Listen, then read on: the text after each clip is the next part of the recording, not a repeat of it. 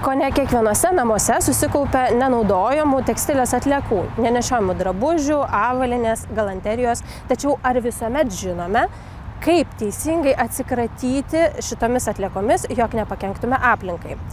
Specialistai sako, jog yra trys būdai - paukoti šiuos daiktus labdarai, nešti juos į specialius tekstilės atliekoms skirtus konteinerius arba vežti į stambiagabaričių atliekų aikšteles.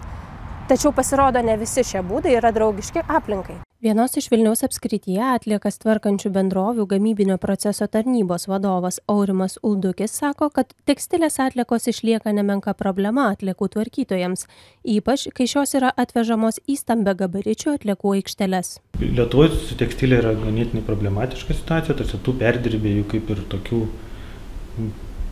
trūksta, gal su pramoniniam tekstilės atliekom yra kažkiek išsisprendę, yra įmonių, kurios ten pašluostės daro visą kitą bet vat rūbai namų tekstilė jinai tokio kad kaip galutinio panaudojimo neturi. Aišku gyventojai daug ką pas naudoja dalinasi. Ir tas irgi yra šiaip žiūrint aplinkosauginės pusės labai gerai kad daug kartų panaudojama ir netampa iškart atlieka bet jau pabaigę vat savo dėvėjimo rūbai jie kaip ir kol kas neturi tos tokios antro gyvenimo šanso. Jie ta prasme yra nu pašalinami sąvartyne arba dabar kai atsiras deginimas matyt bus ta prasme nukreipti į deginimą. Tad gyventojų išmetamos tekstilės perdirbėjų lietuvoje dar stinga.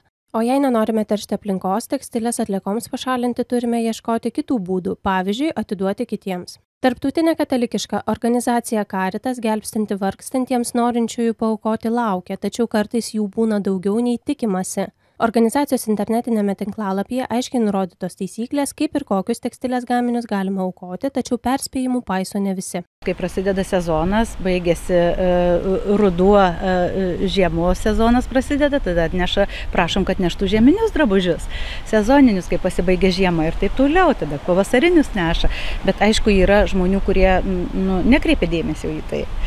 Neša viską kas papuola Kitas kelias nebenaudojama tekstilę nešti į tekstilės konteinerį. Ko ne vienintelė šalyje tekstilės konteinerius turinčios įmonės atstovė Renata Olhova teigia, kad jų įmonės tekstilės konteinerių tinklą šiuo metu sudaro 484 konteineriai. Pas mus yra toksai apvažiavimo būdu atliekamas tas tuštinimas, ne konteineriai yra visi prie bendrų mišrių plastiko stiklo konteinerių, kur yra m, prie namų bendrijos kiemuose. Ant visų konteinerių yra tokia truputėlį info, kaip mesti, ką mesti. Metama yra viskas. Švari tekstilė, švarūs drabužiai, kurie jau nenaudojami, rankinė, žaislai, avalynė. Iš konteinerių nebenaudojami drabužiai, galanterija ir žaislai yra rušiuojami ir perdirbami. Visas konteinerių turinys e, iš visų miestų e, suvežama į mūsų vieną e, sandėlį, kuris yra Klaipėdoje plieno gatvėje ir tenais yra rušiuojama.